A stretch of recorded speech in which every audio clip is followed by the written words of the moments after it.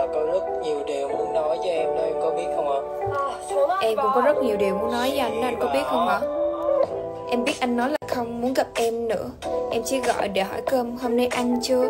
Sao? Ăn rồi thì đã hấp canh chưa? Rồi à, nếu rồi thì đã nhớ em chưa? anh biết em là thế mà đã thế Anh còn suy, anh còn nghĩ, anh còn trách làm chi Em biết em như cục ghen trong mắt Bởi vì anh chỉ có ghét for me, ghét for me à Baby nghe em nói một lần được không? Tên em hiện trên màn hình anh có trước không? Nếu anh muốn ghét em nói trước Tụi nó ghét em ngoài kia cũng phải tốn gần chục năm Vậy thì nếu anh muốn đêm nay không ngủ Đừng gọi em baby, gọi em cô chủ Em cao anh thủ Nhặt cái bút chì when I see you